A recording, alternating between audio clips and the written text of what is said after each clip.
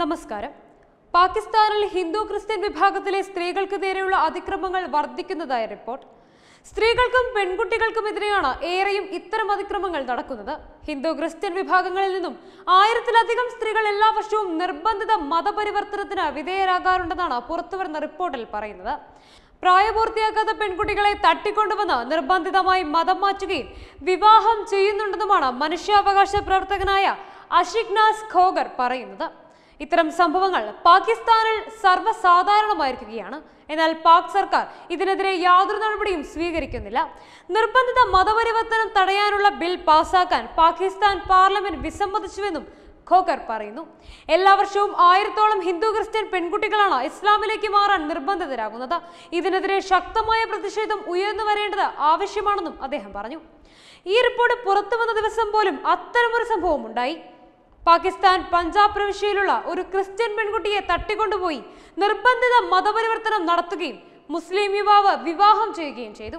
പന്ത്രണ്ട് വയസ്സുകാരിയായ മീരാബ് അബ്ബാസ് എന്ന പെൺകുട്ടിയാണ് ഈ ക്രൂരതയ്ക്ക് ഇരയായത്. മുഹമ്മദ് ദാവൂദ് എന്ന യുവാവാണ് ക്രൂരതയ്ക്ക് പിന്നിലെന്നും ഖോക്കർ ചൂണ്ടിക്കാട്ടി.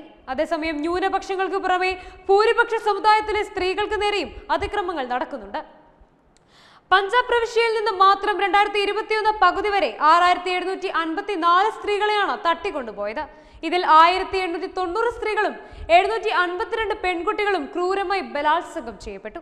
മൂവായിരത്തി എഴുന്നൂറ്റി ഇരുപത്തിയൊന്ന് സ്ത്രീകൾ മറ്റു രീതിയിൽ പീഡിപ്പിക്കപ്പെട്ടുകൊണ്ടിരിക്കുകയാണെന്നും റിപ്പോർട്ടിൽ വ്യക്തമാക്കുന്നു. രാജ്യത്തെ സ്ത്രീകൾക്ക് നേരെയുള്ള അതിക്രമം വർദ്ധിക്കുന്ന സംഭവങ്ങളിൽ ട്രാൻസ്പെറൻസി ഇന്റർനാഷണൽ പാകിസ്ഥാനും ആശങ്ക പ്രകടിപ്പിച്ചിരുന്നു. എന്നാൽ പാകിസ്ഥാനിൽ ന്യൂനപക്ഷങ്ങളുടെ ആരാധനാലയങ്ങൾക്ക് നേരെയും ആക്രമണം ശക്തമാണ്. പാകിസ്ഥാനിൽ ഹിന്ദു ക്ഷേത്രങ്ങൾക്ക് നേരെ ഈ വർഷം മാത്രം നിരവധി ആക്രമണങ്ങളാണ് നടന്നത്. അതേസമയം പാകിസ്ഥാനിലെ ഹിന്ദു ജനസംഖ്യ ഇന്ത്യയിലെ ഹിന്ദു ജനസംഖ്യയേക്കാൾ വേഗത്തിൽ വളർച്ച പ്രാപിക്കുന്നതായി റിപ്പോർട്ടിൽ പറയുന്നു. ബിസിനസ് സ്റ്റാൻഡേർഡാണ് ഈ റിപ്പോർട്ട് നൽകിയിരിക്കുന്നത്.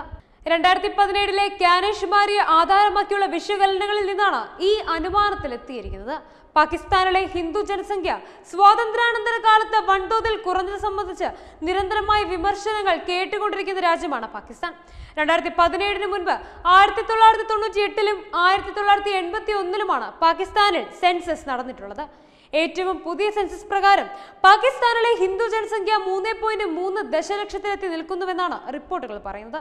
ആയിരത്തി തൊള്ളായിരത്തി തൊണ്ണൂറ്റിയെട്ടിലെ സെൻസസ് പ്രകാരം ഹിന്ദു ജനസംഖ്യ രണ്ട് പോയിന്റ് ഒന്ന് ദശലക്ഷമായിരുന്നു. സെൻസസിലെ മതപരമായ കണക്കുകൾ പാകിസ്ഥാൻ ഇതുവരെ പുറത്തുവിട്ടിട്ടില്ല. എന്നാൽ ആയിരത്തി തൊള്ളായിരത്തി തൊണ്ണൂറ്റി എട്ടിലെ അതേ അനുപാതം ഹിന്ദു ജനസംഖ്യാ വളർച്ചയിൽ നിലനിൽക്കുന്നുണ്ടെന്ന അനുമാനത്തിലാണ് റിപ്പോർട്ടുകൾ. ആകെ ജനസംഖ്യയുടെ ഒന്നേ പോയിന്റ് ആറ് ശതമാനമാണ് തൊണ്ണൂറ്റി എട്ടിലെ സെൻസസ് പ്രകാരം രാജ്യത്ത് ഹിന്ദുക്കളുടെ എണ്ണം. രണ്ടായിരത്തി പതിനേഴിലെ സെൻസസ് പ്രകാരം ഇരുന്നൂറ്റി ഏഴ് ദശലക്ഷമാണ് ആകെ ജനസംഖ്യ. രാജ്യത്തെ ഏറ്റവും വലിയ ന്യൂനപക്ഷ വിഭാഗം ഹിന്ദുക്കളാണ്. ആയിരത്തി തൊള്ളായിരത്തി എൺപത്തി ഒന്ന് മുതൽ അവസാനത്തെ സെൻസസ് വരെ തൊണ്ണൂറ്റി മൂന്ന് ശതമാനമാണ് പാകിസ്ഥാനിലെ ഹിന്ദുക്കളുടെ ജനസംഖ്യാ വളർച്ച.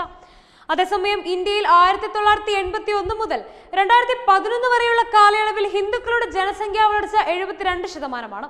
പാകിസ്ഥാനിലെ ക്രിസ്ത്യൻ വിഭാഗത്തിന്റെ ജനസംഖ്യയിലും വളർച്ച രേഖപ്പെടുത്തിയിട്ടുണ്ട്. Web desk Tatwamayi news.